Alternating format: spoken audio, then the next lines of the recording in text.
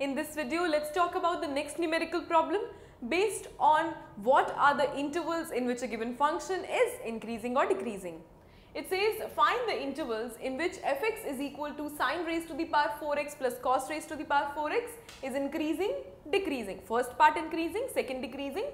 The given interval being that of whole first quadrant. That means x lies between 0 to pi by 2 is indirectly given to you. The question is a CBSE previous year question. Let's start with the solution. I write solution. Now what is fx? fx is given to you as sine raised to the power 4x plus cos raised to the power 4x. You know the procedure, you have to find out f dash x that means the first derivative. Finding f dash x is giving me what? Sine raised to the power 4x differentiation 4 sine cube x and by chain rule sine x gives me cos x2 as the differentiation plus cos 4x differentiation 4 cos cube x and by the principle of chain rule it is minus sin x2 in the differentiation.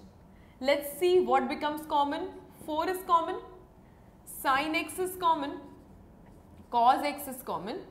Inside you have sine square x, inside you have sine square x minus cos square x.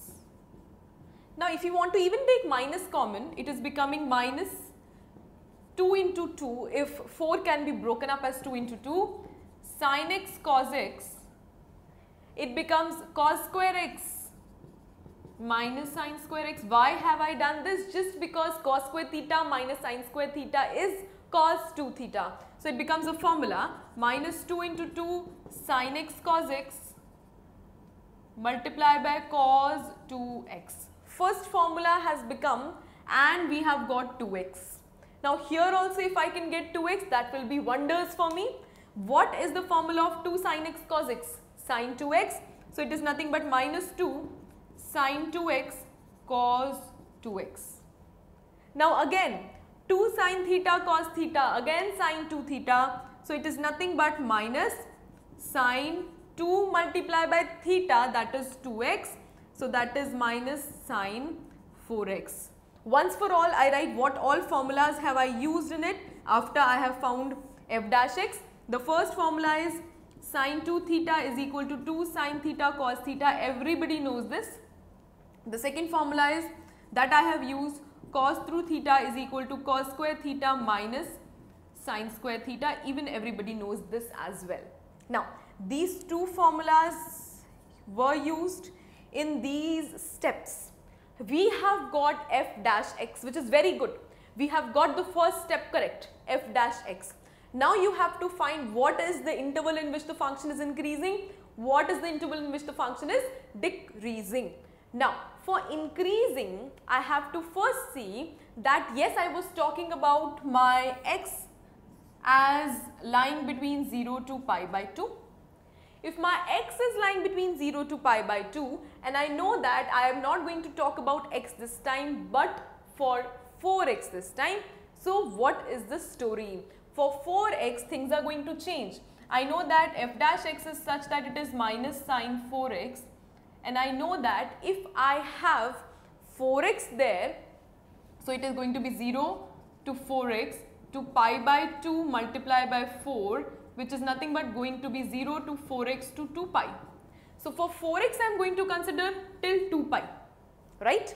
Now if I break this 0 to 2 pi into some intervals, I definitely know that this is the whole of the Cartesian plane 0 to pi by 2 first quadrant, pi by 2 to pi second quadrant, pi to 3 pi by 2 third quadrant, 3 pi by 2 to 2 pi fourth quadrant and in which quadrants is my sine positive?